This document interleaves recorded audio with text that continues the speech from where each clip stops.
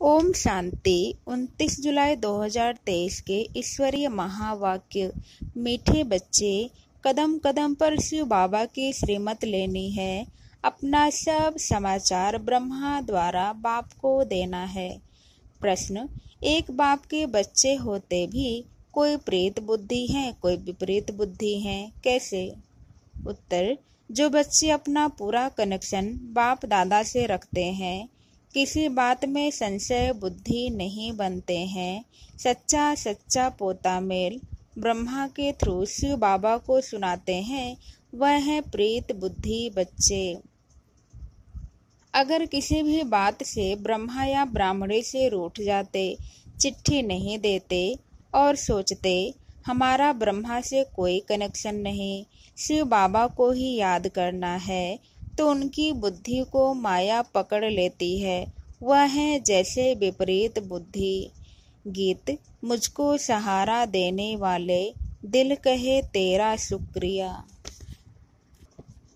धारणा के लिए मुख्य सार पहला, सदा खुश राजे रहने के लिए कदम कदम पर बाप से राय लेनी है।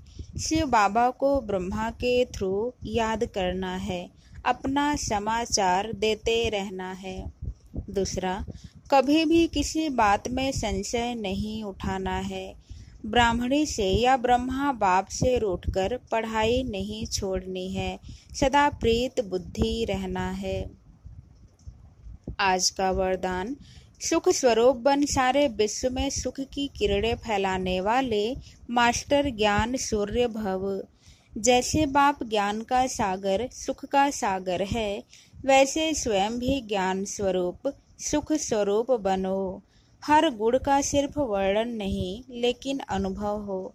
जब सुख स्वरूप के अनुभवी बनेंगे तो आप सुख स्वरूप आत्मा द्वारा सुख की किरणें विश्व में फैलेंगी।